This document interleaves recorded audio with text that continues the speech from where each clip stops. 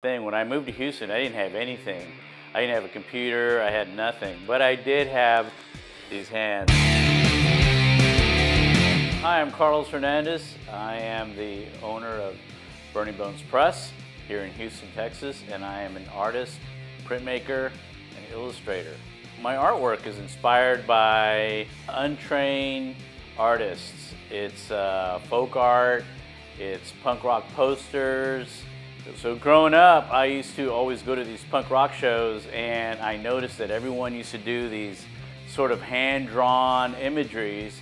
You'll notice that in a lot of my uh, imagery, I use glitter makeup on a lot of things. I, I grew up in a small town, Lubbock, Texas, and I used to love to see old honky-tonk bands.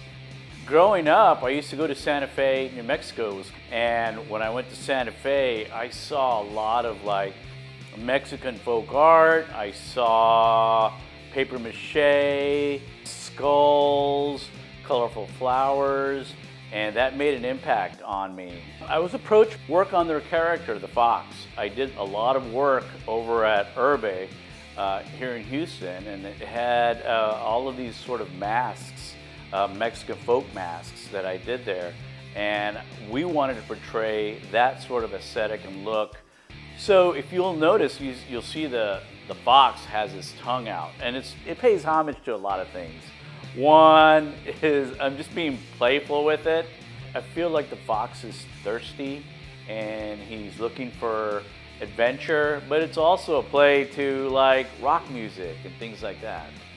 I always feel like sports, especially in soccer, lots of cultures are blended together. I think that the fox and the way that I portray the fox sort of leans towards that.